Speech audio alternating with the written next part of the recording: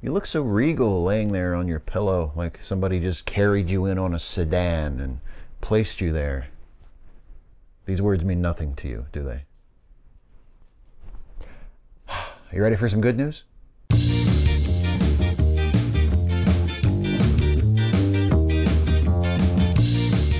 First up, researchers have created a new biomaterial that could help speed up the healing process.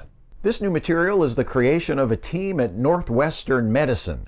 It's a thin, pliable sheet of proteins and polymers that can be folded like tissue paper.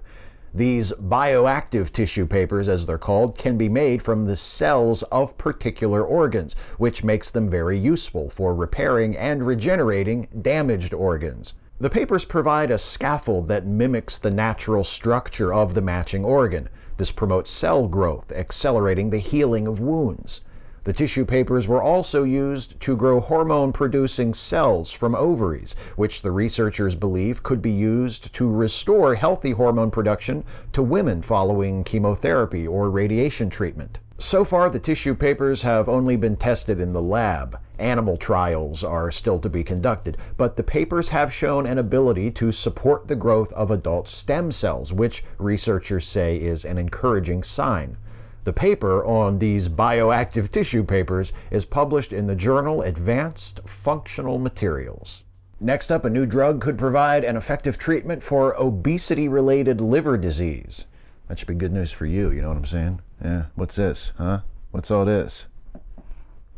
The drug, called URMC 099, specifically targets non alcoholic fatty liver disease, a condition linked to a high fat, high sugar diet, which affects tens of millions of people in the United States alone. According to a study conducted at the University of Rochester Medical Center, where the drug is being developed, URMC 099 was able to reduce inflammation and reverse damage to the liver in a mouse model of non alcoholic fatty liver disease. The research team behind URMC 099 is currently preparing to take it to clinical trials. The study is published in the journal JCI Insights. I'm sorry about that last bit. I didn't mean to fat shame you.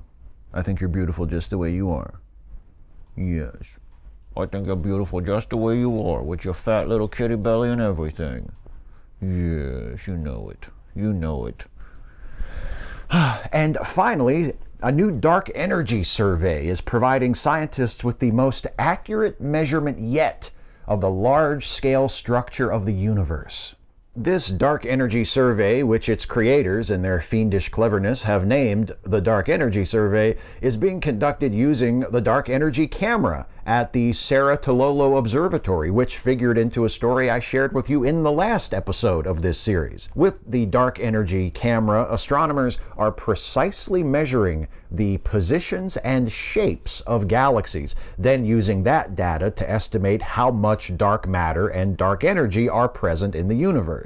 The image of the present universe created by the Dark Energy Survey can then be compared to the snapshot of the early universe created by the Planck mission survey of the cosmic microwave background, allowing scientists to form a more complete picture of the large scale structure of the universe in the distant past and today, and understand how the universe has evolved over the last 14 billion years or so. When it's complete, the Dark Energy Survey will consist of observations made throughout a five year period. It's the largest, most detailed project of its kind ever undertaken and will hopefully enlarge our understanding of the history and the current state of our universe significantly. The results of the Dark Energy Survey so far were presented last week at the SLAC National Accelerator Laboratory in Menlo Park, California. So there you have it, Your Majesty. What do you think of that, huh? What do you think? Organic tissue paper could help accelerate healing and restore regular hormone production. A new drug could reverse the effects of an obesity related liver disease. And the Dark Energy Survey could give us the most complete picture yet of the large scale structure of the universe. That's the good news. Hey folks, hope you found this one worth watching. If you did, please like, share, and subscribe. And also, please consider helping me to make more videos like this one by supporting this channel through Patreon. you can go to patreon.com slash Steve Shives to become a patron. Thanks for watching. See you next time.